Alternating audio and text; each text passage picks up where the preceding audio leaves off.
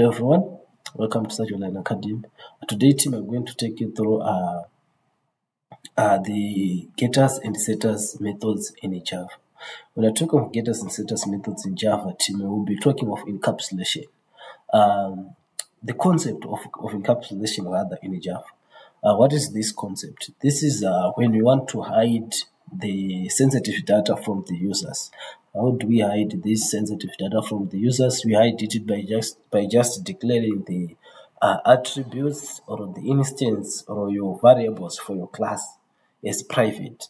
If you declare them as private, you'll be actually making them inaccessible uh, outside that class. So how can you access those variables or set those variables uh, outside that class? That's when we use the concept of what? Uh, of getters and setters methods. So how do they look like? This is getters and setters methods. They are just like other methods, but only that uh, for getters method, uh, you'll be actually using it to get the value of uh, of a certain variable, uh, of a certain instance of your of your class or a variable of your class. You see.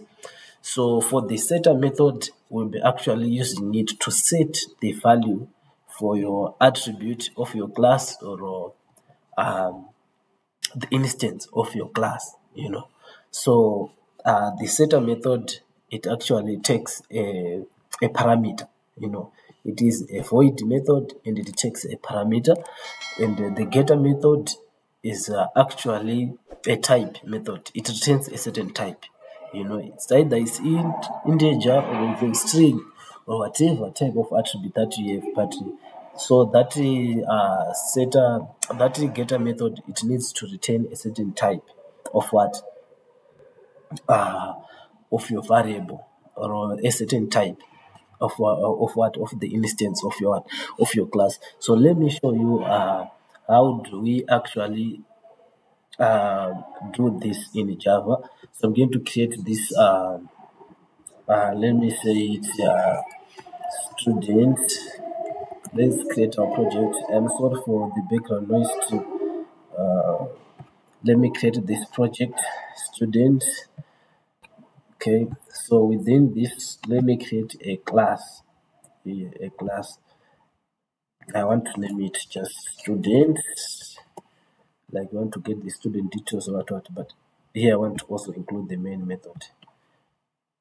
So here we are saying to achieve the issue of encapsulation in Java you need to create your variable maybe let's say it's a string variable is private name then let's say it's the age for our student private uh,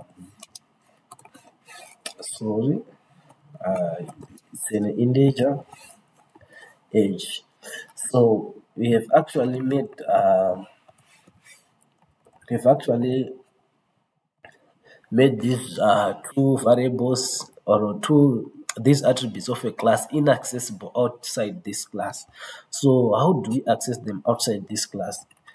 So we need to use the concept of getters and setters method. So let's first um, create a setter method to set the the value uh, for this uh, for these two attributes.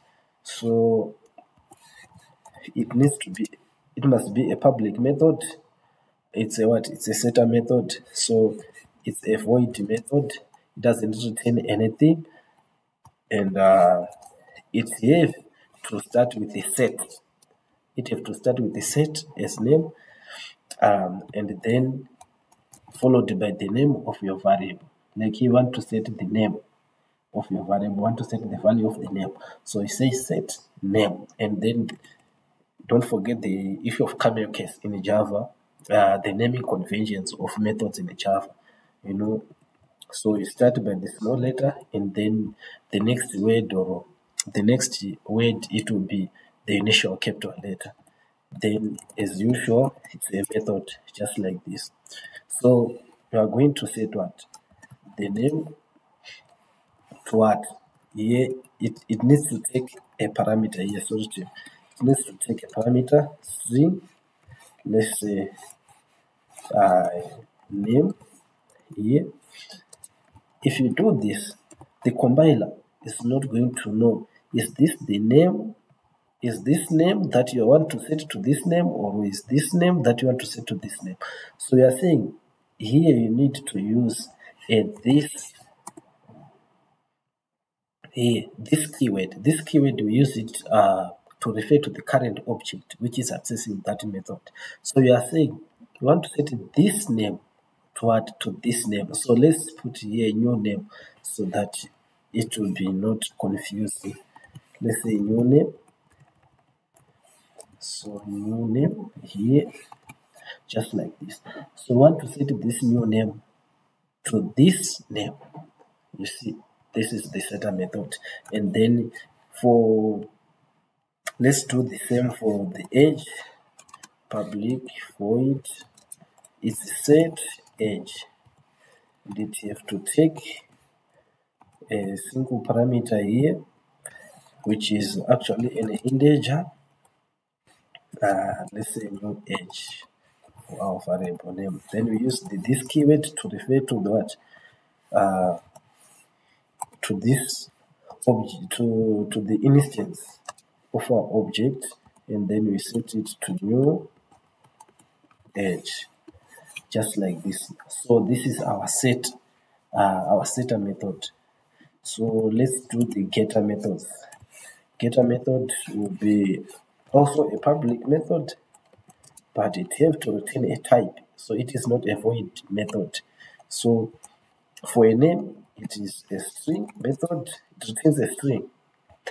And also it starts with a get as getter method. It starts with what?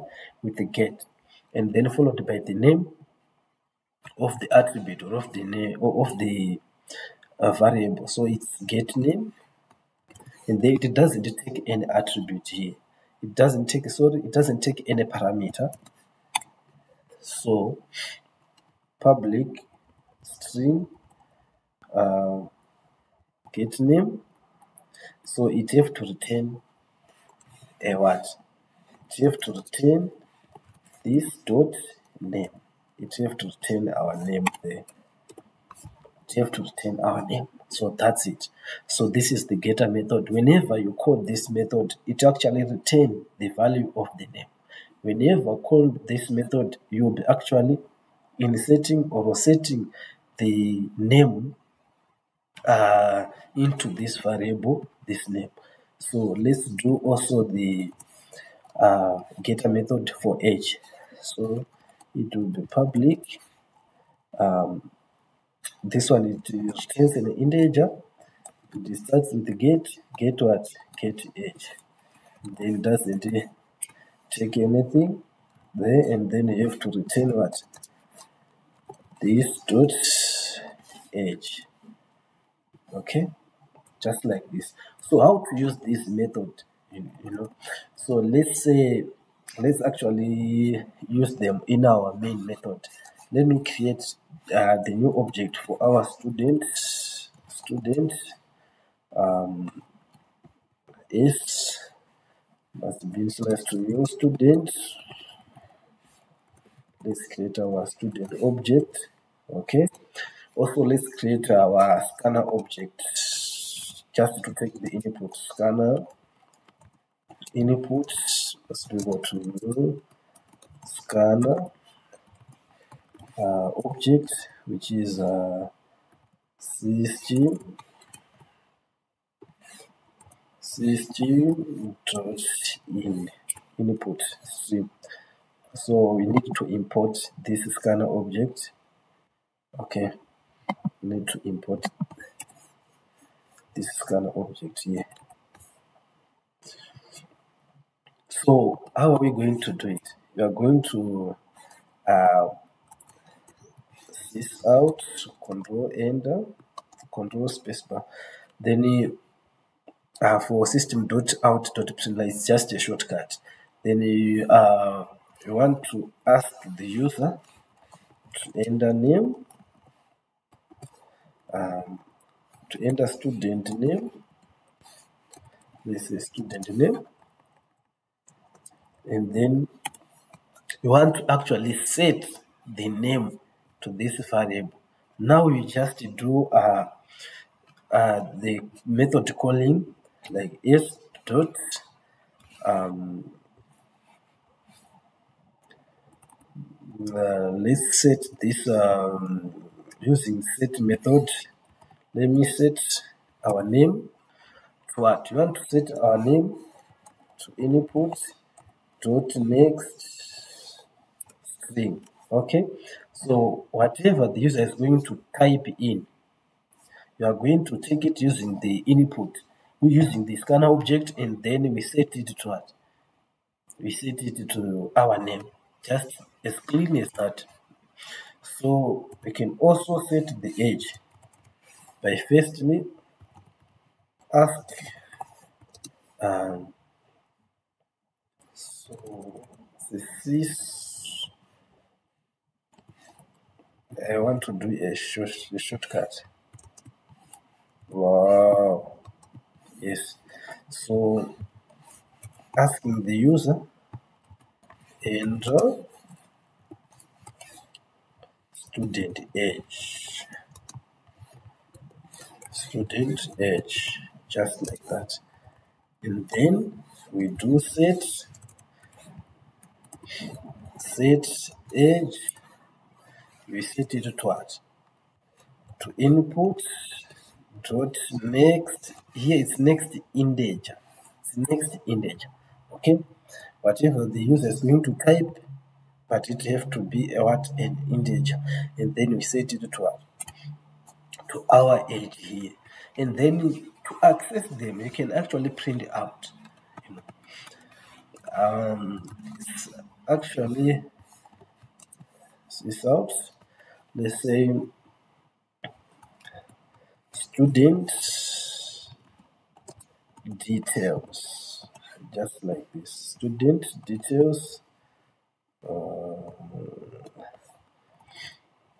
let me do this.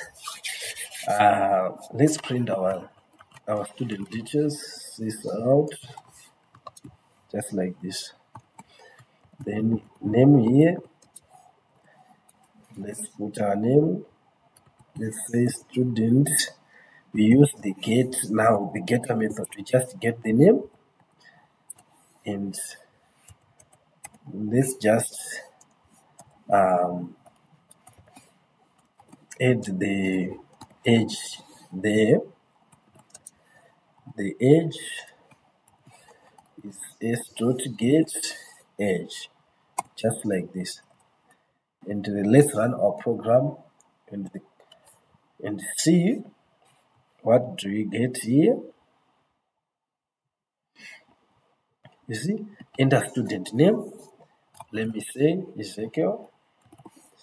See and my age is 24 you see it will print name ezekiel age 24 so this is how we use our setter method and uh, getter method.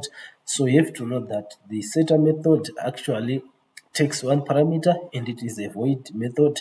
The getter method it doesn't take any parameter but it returns a certain type of your of your variable or of your attribute of the attribute of a certain class. So we use this to achieve the concept of encapsulation in Java. So I want to say thank you team for actually watching this uh, tutorial. So um, if you want more tutorials just like this, so consider subscribing to this channel and also turn on the notification bell so that whenever I upload a new video, you get a notification from this channel. So I want to say thank you team.